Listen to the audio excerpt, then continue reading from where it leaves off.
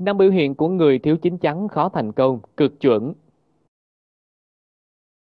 Sự trưởng thành chín chắn của mỗi người không liên quan tới tuổi tác. Sự chín chắn thể hiện ở chỗ bạn có thể đứng trên góc độ của người khác để nhìn nhận sự vật hay không.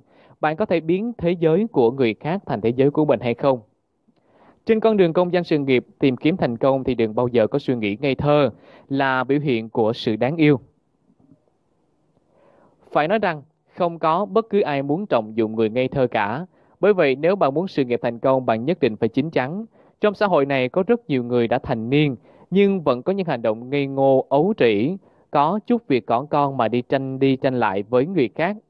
Không chỉ có vậy, những người thiếu chín chắn chưa trưởng thành khó thành công, hồi tụ đủ những đặc điểm sau đây. Một, làm việc gì cũng muốn lập tức có thành quả. Những người thiếu chín chắn họ không hiểu quy luật phải cấy trồng vào mùa xuân thì mùa thu mới có thu hoạch. Rất nhiều người khi làm bất cứ việc gì đó mới cống hiến được chút mọn để yêu cầu phải có thành quả ngay lập tức. Học đàn học tiếng Anh vừa mới bắt đầu đã thấy khó, cảm thấy không thể học được liền lập tức từ bỏ. Hay rất nhiều người kinh doanh mới bắt đầu chưa có doanh thu liền, nghĩ ngay tới việc đóng cửa. Có người từ bỏ sau một tháng, có người thì ba tháng, có người thì nửa năm, có người thì một năm. Tôi không hiểu vì sao một người lại dễ dàng từ bỏ đến như vậy, nhưng tôi biết rằng từ bỏ là một thói quen, là thói quen điển hình của những kẻ thất bại. Do vậy, muốn làm người chính chắn, bạn phải có tầm nhìn xa trong rộng, mắt là để nhìn tương lai lâu dài chứ không phải là nhìn chút lời trước mắt. Những người có thói quen từ bỏ trong cuộc sống xin hãy nhớ rằng người thành công họ không bao giờ từ bỏ, người từ bỏ không bao giờ có thể thành công. Vậy tại sao lại có nhiều người dễ dàng từ bỏ đến như vậy? Napoleon Hill, bậc thầy về thành công học nổi tiếng người Mỹ từng nói, người nghèo có hai tâm thái vô cùng điển hình, một là luôn luôn nói không với cơ hội, hai là lúc nào cũng nghĩ sẽ giàu chỉ sau một đêm. Dù bạn để cho cơ hội gì trước mặt của họ, họ cũng đều nói không. Dù bạn mở nhà hàng thành công, bạn mang kinh nghiệm thành công đó chân thành chia sẻ với họ, khuyên họ học hỏi và làm theo, nhưng họ chưa chắc đã làm. Đó là một kiểu tâm thái hết sức điển hình của người nghèo. Họ sẽ nói anh làm được nhưng tôi không làm được. Thêm vào đó thì họ luôn nghĩ tới việc sẽ giàu chỉ sau một đêm. Bạn trong họ kinh doanh gì đó, câu hỏi đầu tiên mà họ hỏi bạn đó là có lãi hay không. Bạn nói có lãi, họ sẽ lập tức hỏi câu thứ hai, có dễ hay không. Bạn nói dễ lại hỏi thêm câu thứ ba, có nhanh giàu hay không. Bạn nói nhanh lúc đó họ sẽ nói được, họ làm. Những người không chín chắn họ vẫn luôn ngây thơ như vậy. Trên thế giới này làm gì có công việc nào lãi, dễ và nhanh giàu. Dù có cũng không đến lượt chúng ta. Bởi vậy trong cuộc sống thì chúng ta phải biết bỏ công sức, biết cống hiến. Cống hiến là vì ước mơ và hy vọng của bản thân. Nếu sống mà không có ước mơ, không có sự theo đuổi, vậy thì cuộc đời này chẳng có gì ý nghĩa cả. Sống ở đời, bạn muốn có được gì thì đầu tiên bạn phải hy sinh cái đó. Bạn muốn có thời gian, đầu tiên bạn phải hy sinh thời gian. Bạn muốn có tiền bạc, đầu tiên bạn phải hy sinh tiền bạc. Bạn muốn có nhiều thời gian ở bên cạnh người thân thì đầu tiên bạn phải ít có cơ hội được ở bên người thân. Thế nhưng, có một điều rất rõ ràng đó là những gì mà bạn đã cống hiến hoặc hy sinh, tương lai bạn sẽ được đền đáp gấp bội. Giống như là một hạt giống, bạn trồng nó xuống đất, tưới nước, bón phân làm cỏ diệt sâu. Cuối cùng bạn mới thu được gấp 10 lần, 100 lần so với những gì bạn bỏ ra. Trong cuộc sống thì bạn nhất định phải biết hy sinh và cống hiến, không nên vì những cái lời trước mắt, làm gì cũng đòi hỏi phải lập tức có thành quả. Trên đời này không có bữa cơm miễn phí, nhẹ nhàng không bao giờ có thể thành công được cả. Hai, người không chín chắn thường không tự giác. Hiện của sự không tự giác chủ yếu thể hiện ở một là không chịu thay đổi bản thân. Bạn thay đổi cách suy nghĩ và hành vi của mình, bạn phải thay đổi thói quen xấu của mình. Trên thực tế thì năng lực giữa người với người không có nhiều sự khác biệt. Sự khác biệt nằm ở cách suy nghĩ khác nhau. Khi một điều gì đó xảy ra, bạn hỏi người thành công và kẻ thất bại, câu trả lời của họ chắc chắn sẽ khác nhau hoặc thậm chí trái ngược nhau. Hiện tại chúng ta chưa thành công là do cách suy nghĩ của chúng ta chưa đúng. Khi bạn gieo một hạt giống tư duy, bạn sẽ có thu hoạch thành công. Khi bạn gieo hành động, bạn sẽ có thu hoạch thói quen và khi bạn gieo trồng thói quen, bạn sẽ thu hoạch được cá tính. Khi gieo trồng cá tính thì nó sẽ quyết định vận mệnh cuộc đời của bạn. Nhưng nếu thứ mà bạn trồng là bộ hạt giống thất bại, thứ mà bạn thu được chắc chắn sẽ là sự thất bại. Nếu thứ mà bạn gieo trồng là một hạt giống thành công thì thứ mà bạn thu được chắc chắn sẽ là sự thành công. Nhiều người có những thói quen xấu như là uống rượu, thức khuya, lười vận động và bản thân của họ cũng biết đây là những thói quen xấu. Nhưng tại sao họ lại không chịu thay đổi? Lý do là bởi nhiều người họ thà chịu đựng những thói quen sống không tốt này còn hơn là chịu đựng những nỗi đau mà thay đổi mang lại. Hai là tiêu cực hay kêu ca. Sống bạn thích những người cả ngày mặt mày nhăn nhó kêu ca hết ngày này sang tháng khác hay là những người vui vẻ cười nói suốt ngày đây? Nếu bạn nằm trong số những người tiêu cực hay kêu ca, bạn nhất định phải thay đổi khuyết điểm này trong tính cách của mình. Nếu bạn không thay đổi thì đó sẽ rất khó thích ứng trong xã hội này và bạn cũng sẽ khó lòng hợp tác được với những người khác. Bạn biết rằng bạn đối xử với cuộc sống như thế nào, cuộc sống sẽ đối xử với bạn như vậy. Bạn đối xử với người khác như thế nào thì người khác cũng sẽ đối xử với bạn như vậy.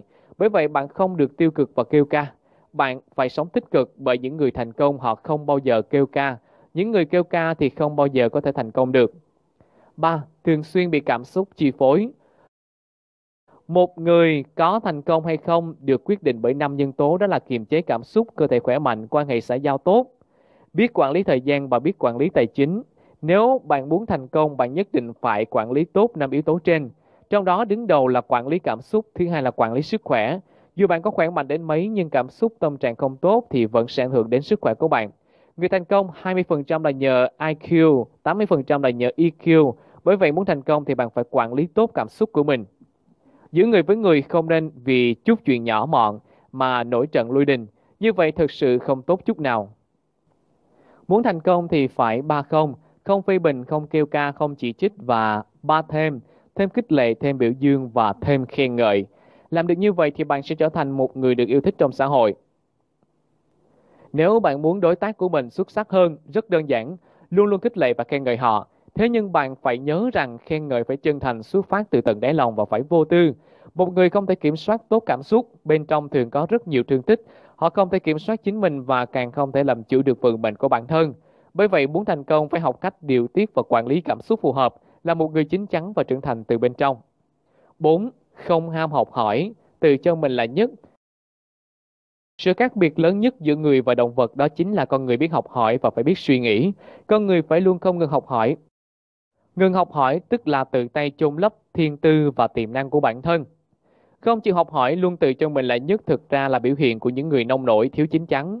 Chính vì bản tính nông nổi không chịu học hỏi mới khiến cho người thiếu chính chắn khó có được thành công. Người thành công họ phải không ngừng học hỏi, làm mới bản thân, họ khiêm tốn trước mọi thành tựu của bản thân, họ không bao giờ cảm thấy đủ trước biển kiến thức mênh mông.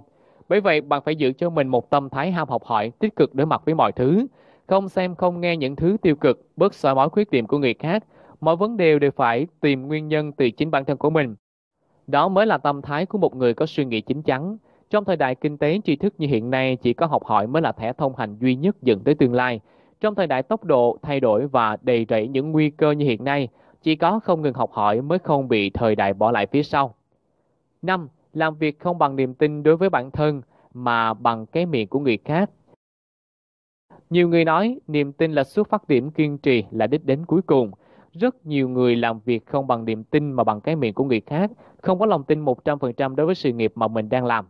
Niềm tin bên trong mỗi người là pháp bảo, là điểm tựa sức mạnh tinh thần lớn nhất của mỗi người. Niềm tin mãnh liệt giúp cho bạn vượt qua vô vàng những cửa ải khó khăn trong cuộc đời, giúp bạn lập nên những kỳ tích mà nhiều người không thể làm được. Những người đưa ra quyết định dựa trên ý kiến của người khác, phần đa số là những người không có chủ kiến, không thể độc lập. Bạn có thể lắng nghe ý kiến của người khác, nhưng bạn phải tối ưu hóa nó thành suy nghĩ của mình. Niềm tin là một thái độ tích cực, là nguồn động lực giúp cho chúng ta tiến xa hơn. Nhưng nhiều người khi làm việc lại gạt niềm tin sang một bên và thay vào đó là làm việc theo những gì người khác nói. Dĩ nhiên, trên con đường tìm kiếm thành công tham khảo lắng nghe ý kiến của người khác là tốt. Thế nhưng, lắng nghe phải có chọn lọc. Quan trọng nhất là niềm tin vào chính mình. Bởi chỉ có bạn mới là người quan tâm tới ước mơ của mình. Chỉ có bạn mới quan tâm bạn có thực sự thành công trong cuộc sống hay không. Đó là những biểu hiện điển hình của những người thiếu chính chắn, không trưởng thành. Hãy đối chiếu lại, nếu như có một trong năm biểu hiện trên bạn nhất định phải thay đổi ngay lập tức Bất cứ lúc nào bạn muốn thay đổi hoặc là trưởng thành đều không muộn. Chỉ cần bạn muốn, mọi cánh cửa cơ hội trong cuộc đời này sẽ rộng mở chào đón bạn. Chỉ cần bạn tin rằng bạn có thể chiến thắng chính bản thân của mình, bạn sẽ dần trưởng thành hơn và chín chắn hơn. Suy nghĩ chín chắn giúp bạn tự do về thời gian, tài chính, tâm hồn và cả chính trong ước mơ của bạn. Chúc các bạn thành công. Clip của chúng tôi đến đây là hết. Cảm ơn các bạn đã quan tâm theo dõi. Xin chào, hẹn gặp lại ở các clip tiếp theo.